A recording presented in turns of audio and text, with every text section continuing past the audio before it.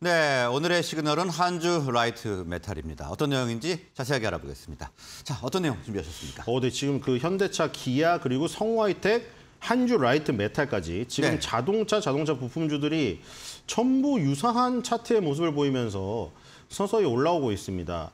이게 뭐, 뭐, 개개, 개, 개개인의 판단에 따라 다르겠죠.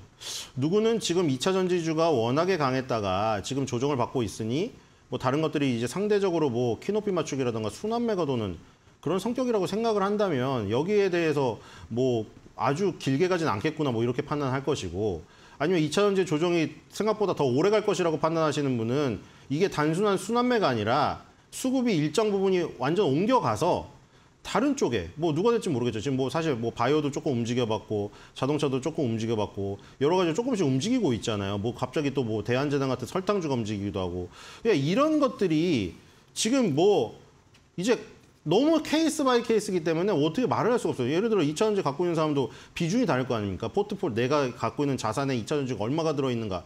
그리고 뭐 얼- 얼마에 사다 지금 시세 차익이 얼마인지 시세 차손이 얼마인지에 따라서 뭐 그거에 따라서 개인적으로 판단해야죠. 근데 팩트는 어쨌든 자동차 value chain이 지금 올라가고 있다는 거예요. 지금 한주 라이트 메탈도 현대차, 기아의 vendor입니다. 성우하이텍과 마찬가지로. 근데 성우하이텍은 오랫동안 내연기관차 부품을 하다가 전기차 외, 그 배터리 외장 케이스로 넘어간 케이, 그 케이스고 그 케이스와 케이스는 다른 말이죠. 한주 라이트 메탈은 지금 light metal이라고 이 사명에서 벌써 느껴지잖아요. metal은 metal인데 light metal이잖아요.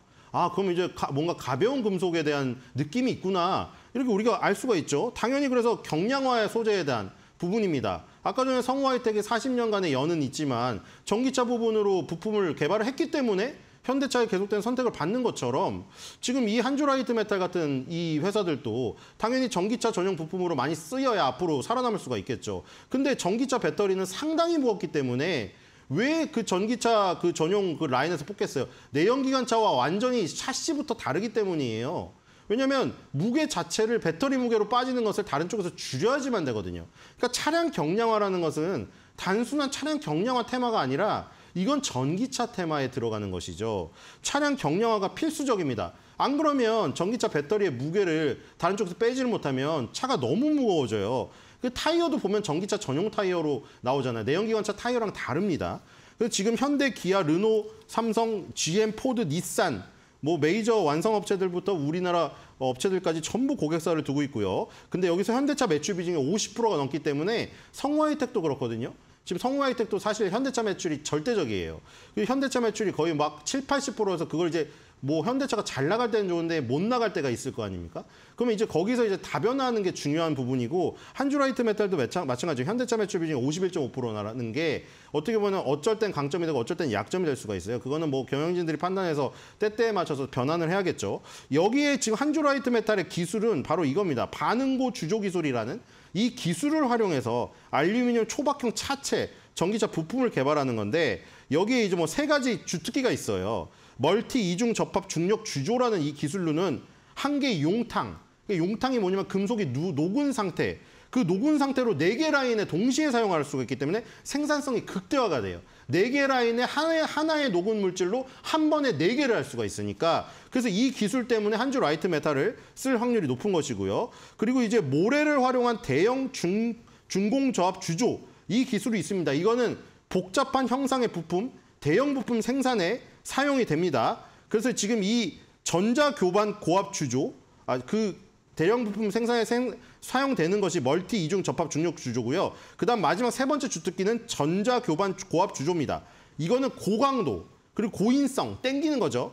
제품에 특화된 주조 영법입니다. 이게 전자기력을 활용해서 초정밀 주조 제어를 가능하게 하는 기술인데 경량화 및 고강도 스펙을 충족하는 데 필수적인 주조 기술이에요. 이 세 가지 주특기 주조 기술을 가지고 뽑아내는 알루미늄 경량화 부품이 앞으로 전기차 시대에 무게를 줄이려는 완성차 업체들의 선택을 받는 가능성이 크다.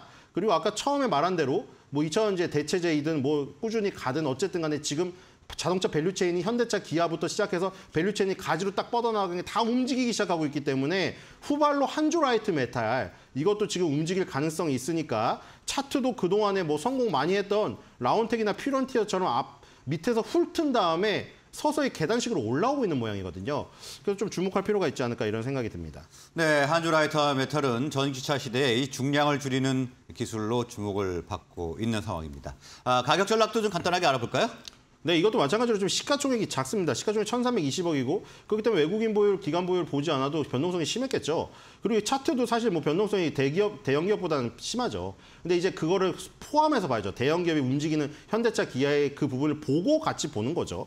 여기서 지금 이 갭 상승한 부분이 생긴 다음에 여기서 위에 매물을 매물을 소화하려고 몇 번을 찔러봤습니다. 찔러보고 이제 매물이 약화된 왜, 왜 찔러보냐면 2016년 7월 달에 이 거대한 피레침이라고 하죠. 피레침 운봉이 있으니까 여기 피레침 운봉 같은 경우는 급격히 떨어진 모습이라 여기 물리신 분들이 많아요. 그럼 여기 근처에만 오면 팔고 싶은 욕구가 굉장히 그 쏟아지기 때문에 이 매물을 한 번에 뚫기가 어렵습니다. 그래서 한 4개월 동안 두들기면서 지금 깨고 있죠. 하나씩 깨어 나가면서 매물을 소화하면서 9천 원대로 진격을 하지 않을까. 그리고 현대차, 기아가 쉴 때 이 중소기업이 돌 가능성이 높습니다. 성우하이텍, 한주라이트 메탈. 그다음에 현대차, 기아가 한 발 더 가주면 성우하이텍이나 한주 라이트 메탈이 더 갈 수 있는 룸이 더 열리는 것이고요. 그래서 현대차, 기아, 성우하이텍, 한주 라이트 메탈 이렇게 통으로 같이 놓고 포트폴리오를 보면서 대응을 하시면 될 것 같습니다. 네, 오늘 한주 라이트 메탈에 대해서 자세하게 분석해 보는 시간 가졌습니다. 자, 오늘 말씀은 여기까지 듣겠습니다. 고맙습니다. 네.